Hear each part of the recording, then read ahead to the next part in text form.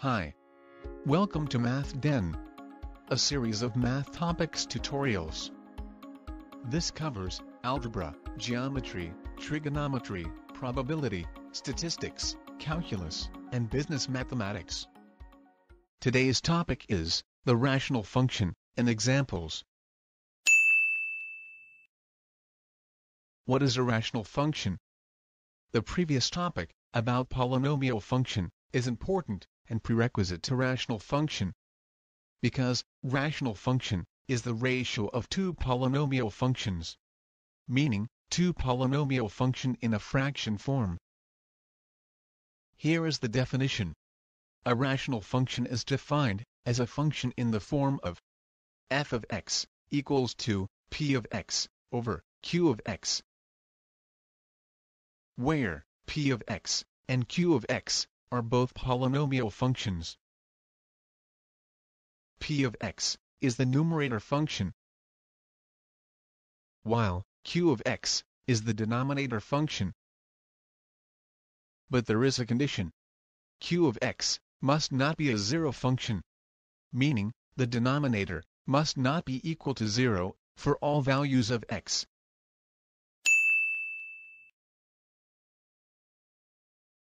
For example, we have this function f of x equals to x squared plus 6x plus 5 all over x cubed minus 2x squared minus 15x. This is a rational function because the numerator and the denominator are both polynomial functions. The degree of numerator is 2, while the degree of denominator is 3.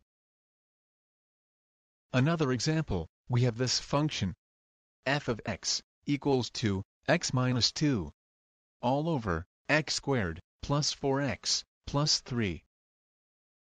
This is a rational function because the numerator and the denominator are both polynomial functions. The degree of numerator is 1, while the degree of denominator is 2.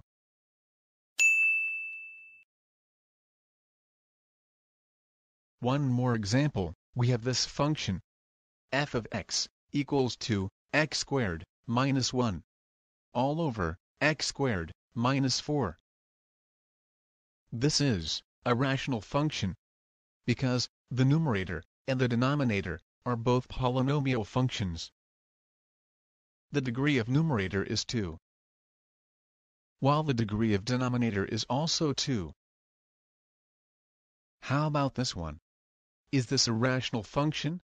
We have f of x equals to the square root of x minus 2 all over x squared plus 3.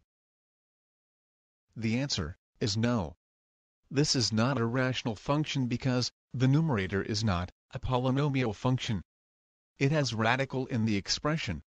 Take note that variables with radicals and fractional exponents are not considered polynomials. Thanks for watching. See you on the next video.